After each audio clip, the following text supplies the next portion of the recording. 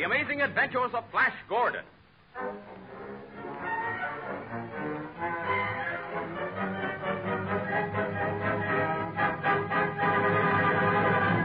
Grove's Emulsified Nose Drops bring to your radios the further interplanetary adventures of Flash Gordon. It is the same daring and resourceful Flash Gordon whose exploits have held you spellbound in the newspapers. Now, through your loudspeakers every Monday, Tuesday, Wednesday, and Thursday at this same time, travel with Flash Gordon, Dale Arden, and Dr. Zarkov to the lost continent of Atlantis on the ocean's floor. Successful in defeating the armies of Morgat in a savage battle at the Hilltop Fortress, Flash Gordon has again been hailed Emperor of Atlantis. Dale and Dr. Zarkov have been saved, but a new and desperate peril menaces Flash, Gregor, and Lieutenant Redna. The substrata forces, with their devastating destructo cannon, have returned to Atlantis, and Raoul Dufarge, arch enemy of Dr. Zarkov and Flash, has deceived them into believing that Grego and Flash are prisoners and that the hilltop fortress is filled with enemies. The substrata forces have opened fire with the destructo cannon. Does this mean that Flash and Grego must perish before the guns of their own soldiers? Is Dufarge to fulfill his vow to kill Flash, Dale, and Dr. Zarkov? Well, in a moment, we shall see. For any head cold or nose cold, you want to get Mother to let you try Grove's Emulsified Nose Drops. Then you'll get the relief you want, and you won't have to go through any suffering to get it. For Grove's Emulsified Nose Drops do not bite or sting, neither do they run out of your nose and down your face or throat. These nose drops stay put, and because they do, they exert a much more prolonged and soothing effect than ordinary oil drops. So, aside from the matter of pleasantness, it's wise to use Grove's emulsified nose drops. If Mother is interested in better ways of doing things, she'll be interested in Grove's emulsified nose drops. They are on sale at all drugstores.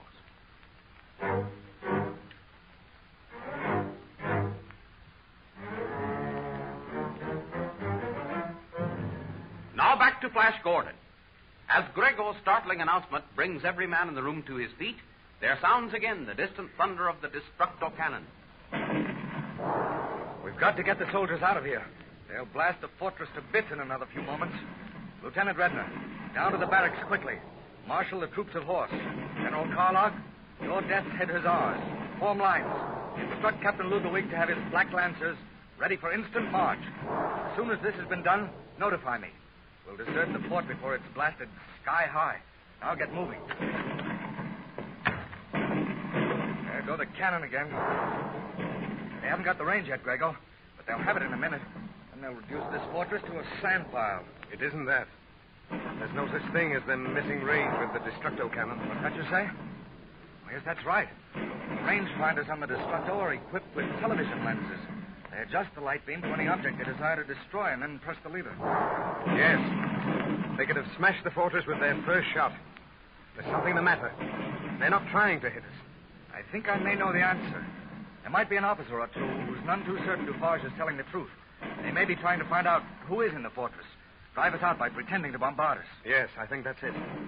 If it is, we can stop this nonsense in a moment. I'll communicate with the barracks by means of the television phone. One moment. Commander Grego speaking. Put me in communication with the quarters of Adjutant Drobner of the substrata forces. Yes, at once. This will put a spoke in Dufarge's wheel. Yes. Hello, Drobner. Commander Grego. Who's in command at the guns? Sergeant Nikor. Tell him to cease firing at once. Great Poseidon, man, that's where we are. In the fortress. Check your television controls. You'll see. That's right. Now listen. This man, Dufarge, the Earthman. Yes, I know it was all his fault. Place him under arrest. I want him heavily guarded. The Emperor and myself will be at the Royal Palace in one hour. Have him there then. And if he resists arrest, you know what to do. That's all. But convey my orders to Sergeant Nikor at once. Well, that ought to do it. Let's get back to the city. I'm anxious to see Dale and Dr. Zarkov.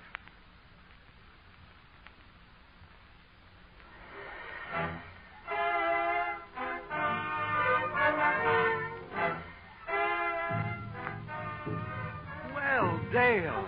Oh, it's good to see you, Flash. So good to see you again. Are you all right? Oh, yes, but was I frightened? When the battle was in progress up at the fort, I, I could see most of it from the roof of Miota's house. Flash, I was terrified. stand back and let me look at you. Ah, Gee, it sounds like a lot of other people are glad the trouble's over, too. Listen to them celebrating out there in the street. yes, they're having a real holiday.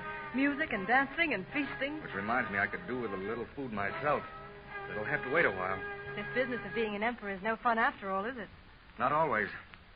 I'm going to enjoy myself, though, in a moment. Enjoy yourself? How do you mean? They're bringing Dufarge here. Oh. Well, what are you going to do with him? I don't quite know. There's a problem, isn't it? The man's a murderer at heart. He's proved that over and over again. He'd kill any or all of us without so much as a buy or leave, and yet you. And yet, we're civilized human beings, Dale. We can't execute him. It is a problem. That's probably the soldiers bringing Dufarge now. You want to leave? No, I'll remain if you don't mind. Not at all. Come in. The soldiers with the prisoner, Your Majesty. Tell the soldiers to bring him in. At once, sire. Bring the prisoner to the royal presence.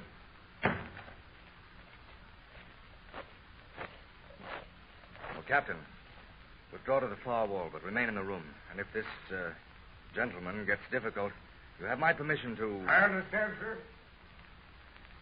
Well, Dufarge, we meet again. Monsieur et mademoiselle, I salute you. Never mind the nonsense, Dufarge. You tried to kill us. Mais oui. I promise to obtain the throne for myself if I can. I try to keep the promise to myself. Voila. Who can say I am not true to myself, eh? Dufarge, you're laughing at all this because you think I don't dare kill you. That you do not dare, Trebo, my friend. It is not that you do not dare.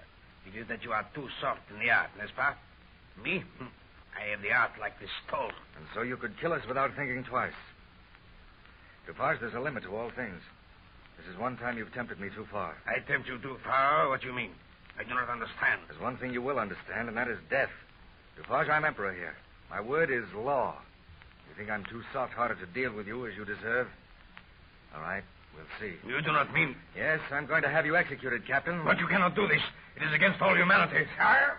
Yeah, take the prisoner back to the dungeons. An order as to his disposition will be sent to the jailer at once. Your Majesty. Come on. You can't do this. Come on, come on. So, you've done it. You've ordered him killed. Not yet, Dale. I don't think I shall. But it won't do him any harm to think about it for a few days. Wonder just when the soldiers will come for him and lead him out to be killed. Oh, hang it all. If there were only some way of getting him back to the outer world. But there isn't. And as long as he's here, he's a menace. Yes. So what to do? I'm hanged if I see any solution. Well, I suppose there'll be other things to worry about. Yes, very well.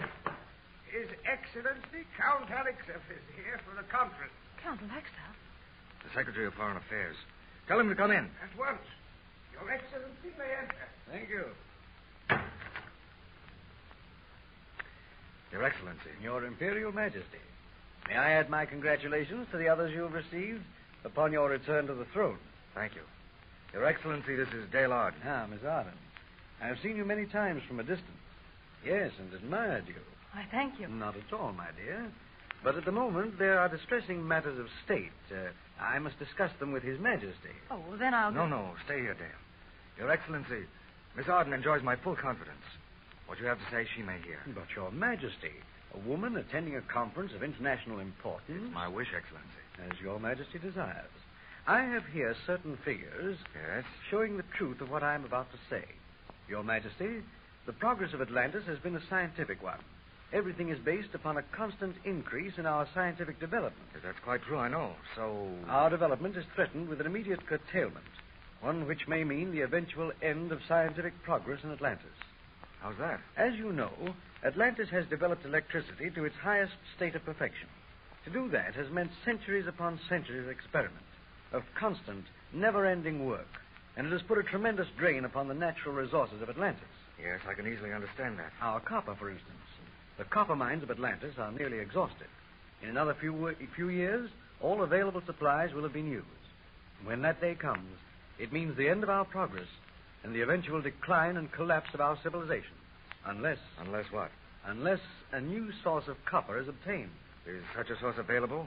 Can more copper fields be had? from two sources. And that is what you must decide, Your Majesty. Manela, Emperor of the Fire Kingdom, controls vast copper mines which extend under nearly every acre of his kingdom. If we could obtain the output of those mines, the development of Atlantis would be assured. I'm afraid that's impossible. Manila would never sell. and I don't care to engage in another war. especially in a war of conquest for gain. Yes, I thought you would feel that way. And I'll be frank to say that the sentiment of the people is behind you. There is one other source of copper. And that is Her Majesty, the Empress Luana, ruler of the land of Titans. Luana, the land of Titans. I know about them, Flash. Neota was telling me. The land of Titans is a savage empire. To the north and west of Atlantis, isn't it? Precisely. And the Titans are giants compared to ordinary men. Most of them stand seven or more feet tall. Quite right. The men of Titan are enormous brutes, powerful as a dozen ordinary men, tall, muscular, savage. But the Empress Luana is not above average height. And I'm told that she is a gorgeously beautiful woman, and her empire produces nearly as much copper as the Fire Kingdom. What are our relations with the land of the Titans? Is Atlantis on friendly terms with Luana? Mm, well, fairly so. We've never had a war with them, oh, a couple of border skirmishes, but nothing serious. But Luana has one grievance against Atlantis that rankles in her heart. What's that? Since before anyone can remember, her empire has had to pay annual tribute to Atlantis. Not much, only a few thousand dollars, as money is measured on Earth, but she always pays under protest. And she's a proud woman. She doesn't like to pay tribute to anyone. Then suppose this annual tribute should be abolished. You think she'd be willing to sell the copper rights? If the offer came from your Majesty in person, I'm confident that she would come to a reasonable agreement. But your Majesty would have to go to her in person, as an ambassador from your own court, unattended, save by one or two courtiers. And that might be dangerous. Dangerous? How? The men of Titan are jealous of Luana. They regard every man who crosses their borders as a possible suitor for her hand. And they have vowed to slay every foreigner who sets foot on Titan soil. They have sworn Luana shall not marry unless and until she marries a man of her own kingdom. Then why doesn't she do it? Mm, I said she was a proud woman. She will not be dictated to even by her own subjects. But Atlantis must have that copper. If your Majesty could see your way clear. Flash, I'll never consent to that. I'll not allow you to risk your life again. So soon after you've just escaped death. Wait, Dale. I'm Emperor of Atlantis. The entire future of the Empire may be in my hands. Yes, I'll go, Count Alexov. Oh, I, I'm sorry. I didn't know you were in conference. I was just leaving, Commander Gregor. I'm glad you came in. His Excellency, the Secretary of Foreign Affairs, has just suggested that I visit the Empress Luana the land of the Titans Merciful Poseidon. and arrange a treaty whereby we can purchase the copper from their mine. And you refused, of course. No, I didn't. I said I'd go. I'm leaving tomorrow, and I want you to go with me. You want me to go with you? Well, I've never refused you, have I? Hmm. You'll need someone to be with you when you die. Upon what strange and desperate adventures are Flash Gordon and Gregor to embark now? Can they do what no man has ever done and lived? Set foot upon the forbidden soil of Titans? Mother knows what a battle it is to get you to take nose drops. When she sees how willingly you stand for Grove's emulsified nose drops, she will feel a service has been done her. Mothers write and tell us every day how grateful they are for Grove's emulsified nose drops. They find them not only more acceptable, but more effective. Grove's nose drops are something new, a decided improvement on the old nose drops. They are made by the makers of Grove's bromoquinine. Mother knows guarantees their quality. Maybe if you suggest it after this program, Mother will get a bottle in the house tonight to have them ready the next time a head cold shows. Suppose you talk to her.